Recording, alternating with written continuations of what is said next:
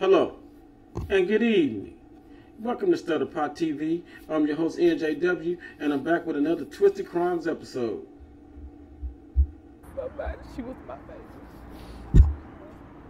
The way I'm gonna show you how to turn up on your mother thing. Woo! God damn, I just got an accident and I gotta keep going, so I'm gonna call y'all. I got to go. I got to go. Or whatever, cause I'm not stopping. We don't like money no more. With money. Well, I'm the nigga with money. I don't know about y'all.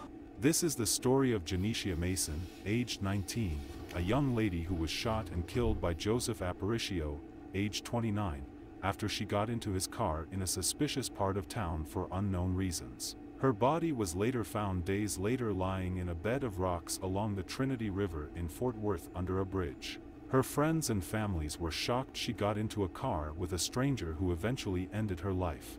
Hello and welcome to Twisted Crimes. Subscribe and hit the like button for more stories. On new this morning, the Fort Worth police need your help figuring out what happened to a woman who was found dead under a bridge last week. This story will be taking us to Euless, Texas. Euless is part of the Mid-Cities region between Dallas and Fort Worth. Living in Euless offers residents a dense suburban feel and most residents rent their homes. Euless, also known as Tree City, USA, is a city in north-slash-western Texas near Dallas and Fort Worth. Euless is approximately 20 minutes northwest of Dallas and 25 minutes northeast of Fort Worth. Part of the Dallas-Fort Worth International Airport is located within Euless. Janeecia Nene Mason was born on February 12, 2004. She was from Shreveport, Louisiana, but lived in Euless, Texas. Okay, well, that's you. But on the other hand, me? Oh, I'm gonna turn up. She studied at Tarrant County College and later worked at Ulta Beauty and Chick-fil-A. She was described as a very sweet, loving, happy, funny, and adorable person. Basically, this how the You forgot gorgeous, because she definitely gorgeous.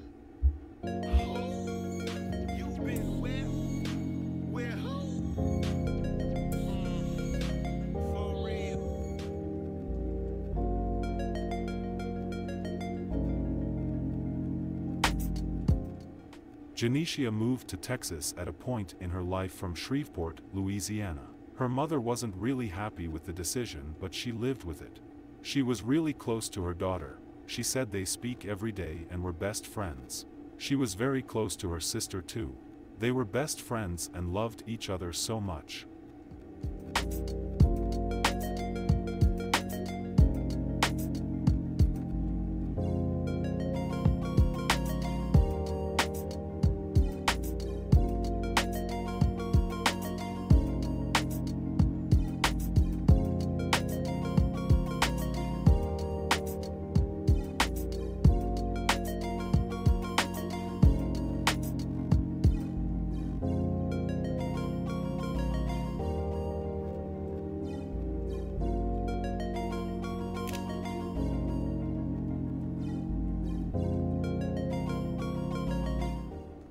Trouble started on March 17, 2023 when her mother Barbara Taylor didn't hear from her daughter as usual. She tried to contact her but there was no response whatsoever. She was a bit confused about what happened but did the right thing. She filed a report with the police department and the search for Janeecia was on. She was then officially declared missing by the police which prompted a massive search. Barbara and her husband went to Texas soon after and started searching on their own. They appealed to people to help them and weird enough, while they were searching, they stumbled upon a body that was not Janeecia's. That what we here for? Um, I'm here. My daughter. So while they was looking for another, this young lady, they stumbled up another on another young lady. God damn. They just killing people and they're dumping them in Fort Worth? daughter have been missing since Friday. Um, no one's heard from her since Friday night. Um, I text her about 6.20, 6.30. She texted me back. I told my daughter I miss her, come home. She said, Mama, I miss you too. I'm trying to get my life together. I'm coming home. She's supposed to come back home on Monday. She never returned. No phone calls, no text messages. I wonder what she meant by she was trying to get her life together. What are they trying? What are they trying not to tell us? messages. phone is going straight to voicemail. Um, the only thing that I have is she was with this girl Angel. I've been looking for her, and she's the only person that I know that would have known what have went on and where is she. And um, something about a red Monte Carlos that picked her up right here behind the what is this, Walnut Hill Inn, Right, a right. Mexican guy. So they said she got in the car with a Mexican guy and never came back. Right. So I'm not sure, but if anybody Okay, so I understand now what they're trying not to tell us. Cause you don't gotta know English to know what get in the car mean. have any information um, dealing with my daughter, Janeecia, um, they call her Nene. Um, please reach out to me, inbox message topic, let them know what's going on. I want my baby to come home, and this is no feeling that no mother should have to even endure. I need all the help I can. And, le- and let me explain for the people trying that's kind of confused. They was out here looking for their daughter and came across another body. Yes, um, security was out here asking us to leave, and they spotted secure, um, a body out here while we was out here. So That's why you see all the medical examiners out here now. So they found the, another body while they was out looking for their for their daughter for her for their daughter.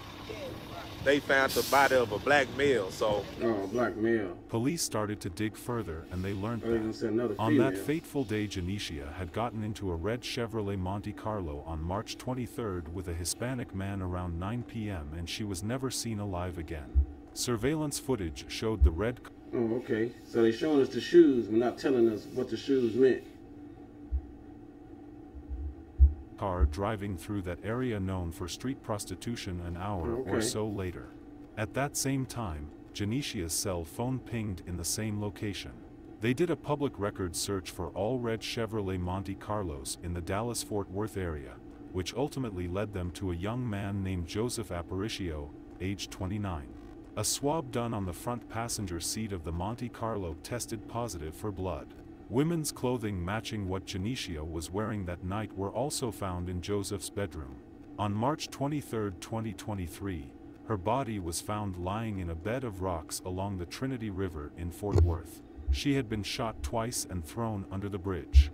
So he just killed her and tossed her under the bridge like she was a bag of garbage. That's how they treat us, Mayetes. We're back with the family, desperate to find out what happened to a young woman from Dallas after her body was discovered under a bridge. Janeecia Mason's family reported her missing in Dallas earlier this month, and a few days later, police found her body under a bridge in Fort Worth. Mason's mother told Sydney Persing someone has to know something about her 19 year old daughter. She was 19. Under this bridge, by the dirt and weeds and bugs, this is where Fort Worth police found 19 year old Janeecia Mason's body. Called her mom Barbara to make the ID. She was just thrown out like she wasn't nothing, like she was nobody. She was somebody. She was my baby. Police say Janeecia went missing out of Dallas March 19th. But found her body all the way in Fort It's got to be heartbreaking, man. Finding out, finding out your daughter was just thrown out like a bag of trash. I feel sorry for the mother and the baby. Worth four days later. It's not clear how she got there or how she died. Investigators won't say much, but are asking, aggressively and urgently, for anyone with information to come forward. Somebody knows something. Barbara told me Janeecia just graduated high school, loved to do hair and nails and makeup, take videos, was looking forward to buying a car, getting braces. Her funeral will not happen here. Instead, Janeecia will be laid to rest in Louisiana, where she was born. I love Texas until I feel like Texas, this place just swallowed up my baby. It's a vulnerable thing I couldn't even go there. I didn't even have the courage. To show people your pain so Oh, publicly. But Barbara hopes showing you her hurt might compel you to help and tell police what you know if you know anything. Detectives saw markings and impressions in the dirt between her body and the gravel strip near the edge of the road. This meant that she was killed somewhere else and was dragged to where she was ultimately discovered. Joseph Aparicio, 29, was subsequently arrested and booked sometimes around 1.20 a.m. for murdering 19-year-old Janeecia Mason. Says a young woman whose body was found under a bridge in Fort Worth was shot to death. Police arrested a man for murdering 19-year-old Janeecia Mason last week, but questions still remain about what led up to that shooting.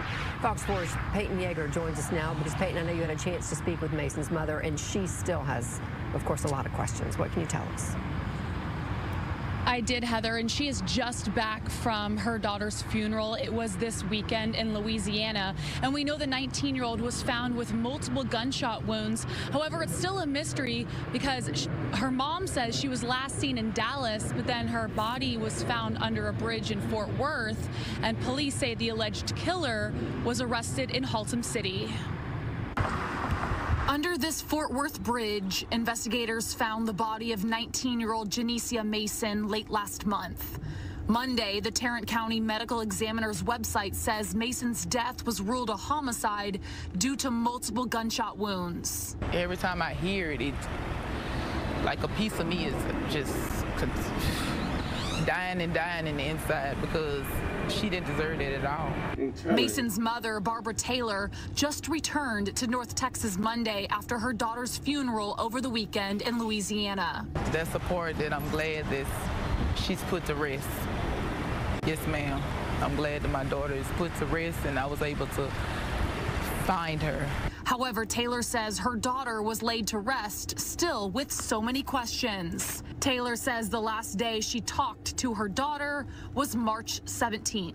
She said that she was going to give me a call and and I called after dinner. She didn't pick up. The next morning, she didn't pick up, and I started getting worried. Fort Worth police say on March 23rd, they received a call that someone located Mason under a bridge off South Precinct Line Road in Fort Worth.